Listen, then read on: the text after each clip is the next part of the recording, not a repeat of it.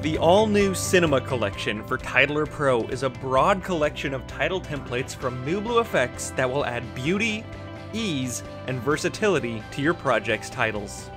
Today, we'll be looking at a few of the titles offered in the Cinema Collection, as well as walking you through the process of adding and modifying one of these titles in Titler Pro.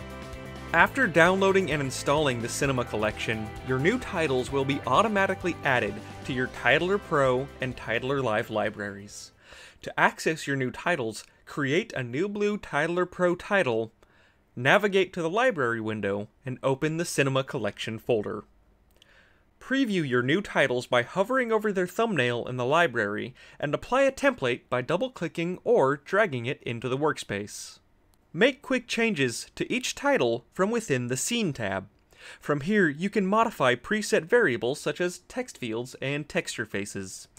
Of course, you'll often want to make more elaborate changes. With Titler Pro, every aspect of your title is fully customizable.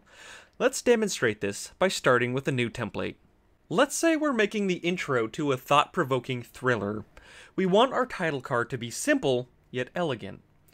The Walking Dread provides this, but of course, we're gonna need to make some changes to apply it to our own project.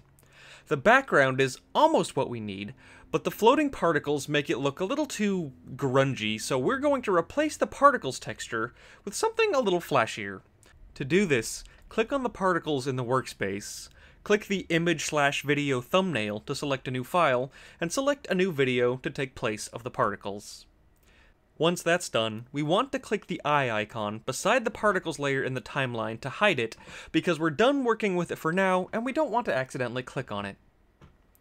Next, we're going to change the text.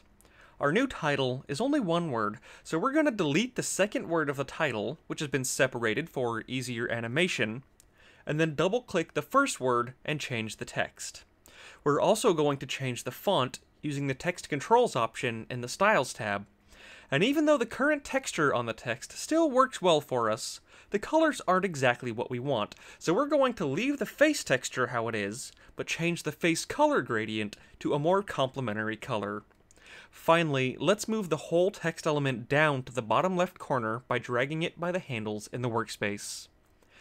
Now we're going to repeat the same process for the subtitle. Change the text, change the font, change the color, and move it into position.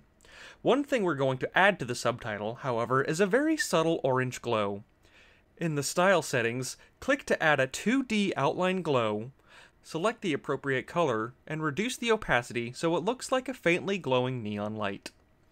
The last step is to add animations. Luckily, our background and particle layers are videos, so they're already animated, but we want our text to have a little more character. Select the Transitions dropdown from the library and open the Animations folder. We want to give the subtitle a typing effect, so we're going to open Type On and apply Type Left to Right by double-clicking or dragging it onto the appropriate layer in the timeline. It seems to type a little slower than we need, so let's zoom out on the timeline and drag the animation handle to make it a little tighter.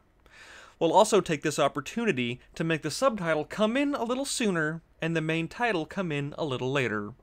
As far as an animation for the main title, we're going to repeat the same process.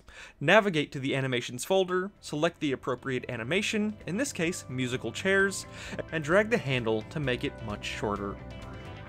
Just by making a few small changes, we've reworked the Walking Dread template into something unique and original, and it took less than 5 minutes. With a wide range of templates and the unrivaled versatility of Titler Pro, the Cinema Collection gives you the tools you need to take your project to the next level. To learn more, visit newbluefx.com slash titling today.